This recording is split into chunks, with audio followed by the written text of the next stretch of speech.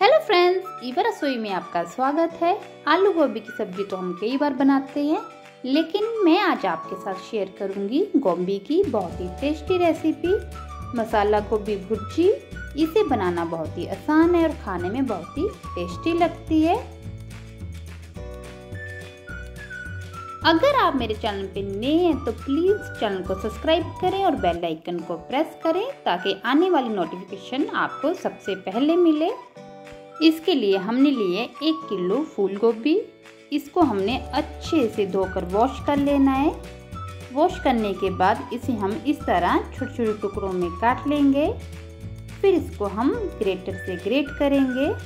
आप इसको मोटा या पतला किसी भी तरह ग्रेट कर सकते हैं।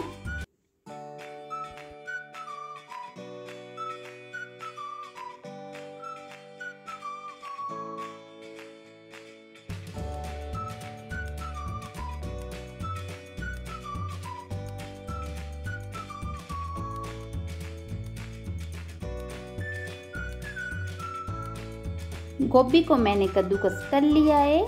कद्दूकस करके हम गोभी को इस तरह तैयार कर लेंगे और अब हम इसकी भुर्जी बनाएँगे। इसके लिए मैंने लिए तीन प्याज मीडियम साइज़ के, साथ में मैंने लिए तीन टमाटर मीडियम साइज़ के, दो हरी मिर्ची मिर्ची आप अपने टेस्ट के अकॉर्डिंग डाल सकते हैं। साथ में मैंने लिया है एक छोटा टुकड़ा अदरक का। साथ में हमने लिए एक कटोरी हरे मटर के दाने। ये हमने फ्रेश लिए हैं।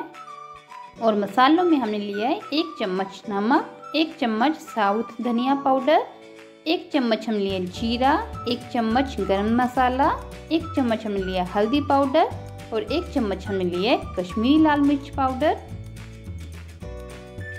हमने प्याज और टमाटर को बारीक कट कर लिया है और साथ में अदरक को हमने ग्रेटर से ग्रेट कर लिया है। तो अब हम गोभी की भुर्जी बनाना स्टार्ट करते हैं। इसके लिए हम एक कढ़ाई लेंगे। उसमें हम दो से तीन बड़े चम्मच ऑयल डालेंगे। ऑयल को हम अच्छे से गर्म करेंगे। ऑयल हमारा अच्छे से गर्म हो गया है। अब इसमें हम डालेंगे एक चम्मच जीरा। जीरे के चटकने पर इसमें हम ऐड करेंगे बारीक कटा हुआ प्याज। प्याज को हम अच्छे से मिक्स करेंगे। प्याज को अच्छे से मिक्स करने के बाद इसमें हम ऐड करेंगे अदरक। अदरक को भी इसमें हम अच्छे से मिक्स करेंगे। गैस की फ्लेम को हमने मीडियम पर ही रखना है और प्याज को हमने गोल्डन ब्राउन करना है।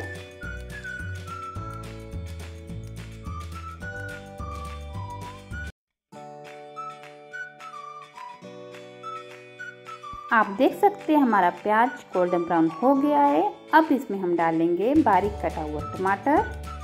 फिर हम प्याज और टमाटर को अच्छे से मिक्स करेंगे।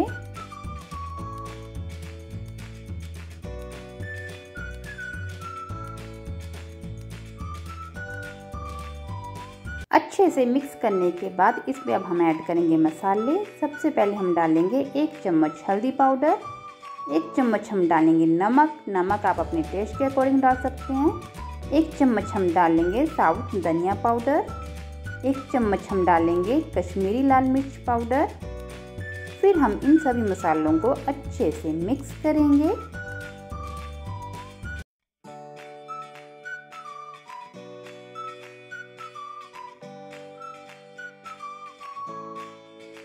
अच्छे से मिक्स करने के बाद इसे हम एक से दो मिनट के लिए इस तरह ही पकने देंगे।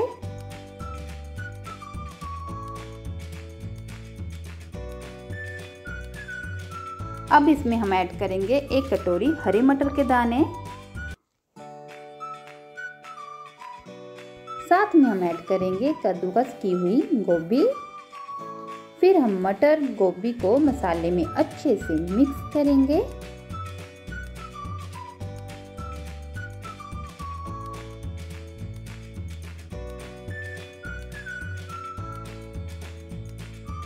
हमारी गोभी मसाले में अच्छे से मिक्स हो गई है। अब इसको हम कवर करके रख देंगे पकने के लिए दो मिनट के लिए। दो मिनट के बाद हम कवर को उठा देंगे और इसे हम अच्छे से फिर से मिक्स करेंगे।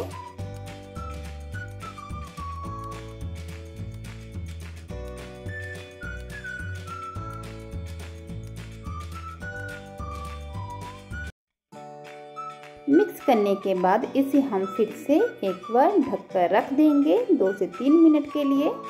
गैस की फ्लेम को हम सिम पर रख करेंगे। दो से तीन मिनट हो गए हैं। अब हम कवर को उठा देंगे और इसे हम अच्छे से मिक्स करेंगे। और ये देखिए हमारी गोभी की भुर्जी बनकर एकदम से रेडी हो गई है। आप देख सकते हैं इसका कलर कितना अच्छा आया है और ये कितनी खिली खिली बनी हुई है। अब हम गैस की फ्लेम को बंद कर देंगे। और अब इसे हम गर्मा गर्म सर्व करेंगे बाउल में। आप देख सकते हैं कितनी ही टेस्टी हमारी गोभी की भुर्जी बनकर रेडी हो गई है। आप इसे ब्रेकफास्ट लंच में डिनर में कभी भी बनाकर खा सकते हैं। और ये भुर्जी बनाने में बहुत ही आसान है। आप इसको रोटी के साथ खा सकते हैं या फिर पराठे के साथ। अगर आप ट्रैवल कर रहे हैं तो आप इसको पैक भी कर सकते हैं और रोटी के अंदर रोल करके आप बच्चों को टिफ़िन में भी दे सकते हैं। ये खाने में बहुत ही हेल्दी होती है। आप इस रेसिपी को घर पर एक बार ज़रूर ट्राई करें और मुझे कमेंट करके बताएँ कि आपको ये रेसिपी कैसी लगी।